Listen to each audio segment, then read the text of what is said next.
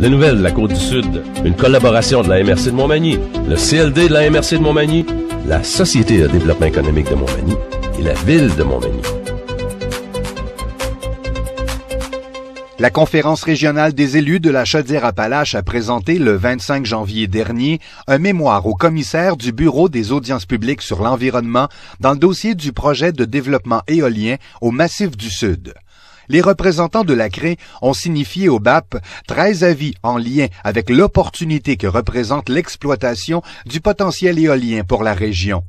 Considérant une densité régionale unique d'éléments à haute valeur de conservation, la CRI affirme qu'une aire protégée est complémentaire au projet éolien et compatible avec la vocation et les usages touristiques du parc régional du Massif du Sud. Le BAP doit déposer son rapport au ministère au plus tard le 12 avril. Celui-ci devrait être rendu public 60 jours après cette date. Saint-Laurent Énergie projette d'ériger un parc éolien de 75 éoliennes fournissant 150 MW pour augmenter la production d'énergie renouvelable dans la région.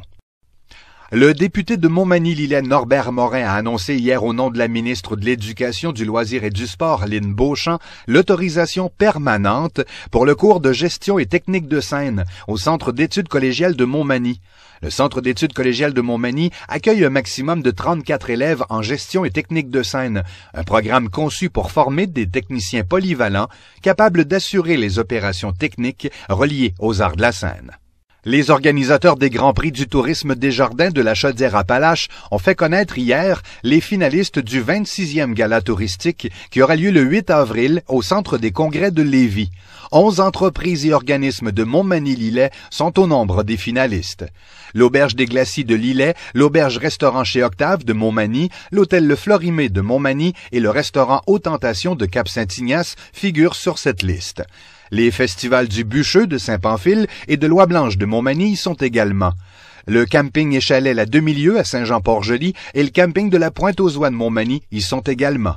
La Maison du Grand Héron de l'île aux Grues, le Musée maritime du Québec à l'île-sur-Mer et l'Office du tourisme de la Côte-du-Sud ont aussi reçu des invitations au gala à titre de finaliste 2011. Les Arts de la scène de Montmagny sont à nouveau finalistes dans la catégorie diffuseur de l'année au prix Rideau 2011, dont les prix seront remis le 17 février. Le réseau indépendant des diffuseurs d'événements artistiques unis, du nom Rideau, offre 5000 dollars aux gagnants. Le comité des spectacles de Dolbeau-Mistassini et le théâtre Lionel Gros de Sainte-Thérèse sont aussi finalistes dans la catégorie. Le prix souligne l'audace, l'ingéniosité et l'excellence du travail de direction artistique d'un diffuseur. Le directeur du greffe et des affaires municipales de la ville de Montmagny, Félix Michaud, s'envole aujourd'hui pour une première mission à titre d'expert en administration municipale en Haïti. Félix Michaud sera l'un des trois experts municipaux canadiens qui fourniront une assistance stratégique à la reconstruction d'Haïti. Il a été sélectionné parmi une vingtaine de candidats ciblés par la Corporation des officiers municipaux agréés du Québec. Six missions d'aide sur deux ans sont prévues pour le programme de coopération municipale Haïti-Canada. L'employé de la ville de Montmagny sera dans la région haïtienne des Palmes jusqu'à son retour le 12 février.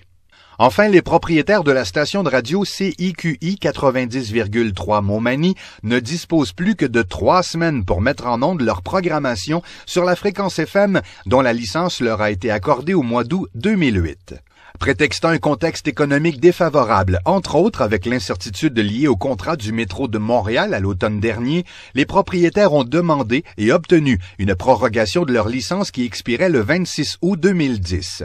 Le CRTC a prolongé le délai de mise en onde au 25 février 2011. S'il semble qu'on s'installe au 191 chemin des Poiriers Montmagny, il n'en demeure pas moins que c'est actuellement le silence radio sur la fréquence que possède depuis plus de deux ans le groupe Simard pour la région de Montmagny-Lillet. C'était les dernières nouvelles de notre région pour aujourd'hui.